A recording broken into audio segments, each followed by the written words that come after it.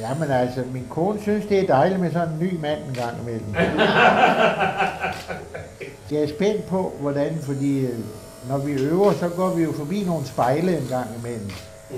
Så ligesom han tager en maske på, ikke også, så ser man sig selv som en lidt anden person. Det her giver en elegance, Ja, ja, for men det samme også, Ja. når vi får trimmet lidt. Ja, ja, ja. Ja.